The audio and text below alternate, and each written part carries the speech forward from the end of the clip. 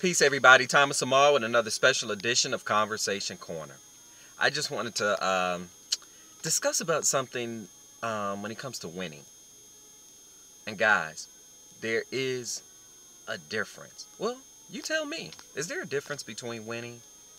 Because see, I was always taught that a win is a win. In sports, if you win by 20 points in comparison to winning by one point, a win is a win and a loss is a loss. So you tell me. What's the difference? Is there a difference? Well, I can let you know, in my opinion, a win is a win.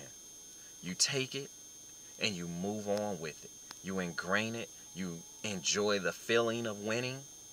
You add it. You take the positive aspects out of it, and you add it within to your in, into your being, and you continue to move on because you want to build up these wins. That's why those that have the greatest minds, they always tell you, don't go for the home run immediately. Go for some singles. Get the small victories. And as you add those small victories, when a larger one comes or an opportunity for a larger win comes or a victory, it won't be so hard. It won't be so difficult because you'll have the mindset of a winner. Now, don't get me wrong.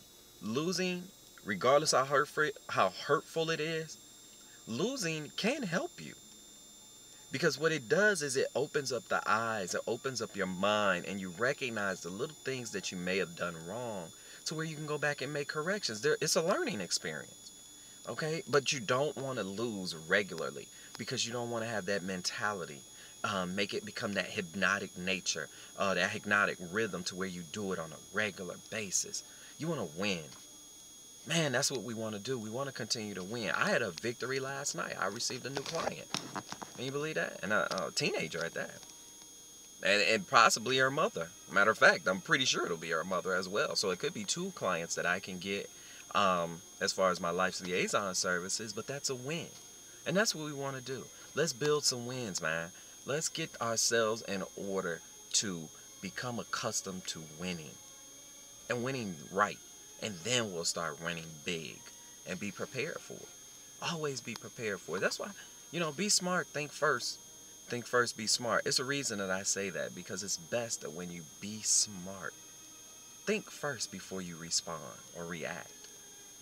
We want to have responses in our life. Responses mean you thought out your next action. A reaction means you just did it. Very limited thought. So, Conversation Corner, look forward to hearing you. Please feel my energy, feel my vibration. Right now is the time. We need winners, man. That's what you are. You're a winner. And I'd love to be with you. I'd love you to come along with us, um, be on our team full of winners. And let's continue to rock our lives for the best. Talk to you soon, Conversation Corner. Let's help as many people as we can. Do something good for a person today. That's what winners do.